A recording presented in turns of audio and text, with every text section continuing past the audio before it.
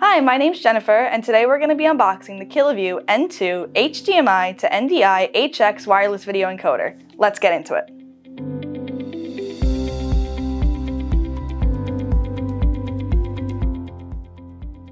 So first things first, I wanted to show you the quick start guide and other paperwork that come with the device.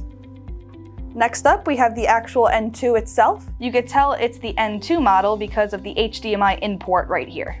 And following that, we have the two Wi-Fi antennas. Next up, we have the USB network adapter, and we have our hot shoe mount. And next we have our USB tally light. And after that, we have our power supply and the US adapter.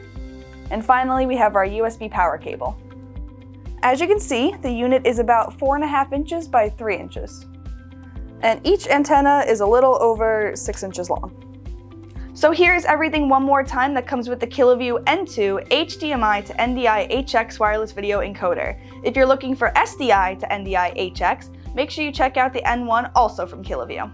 For more information, make sure you check out videoguys.com. Thanks so much for watching today's video. We'll see you in the next one. Bye!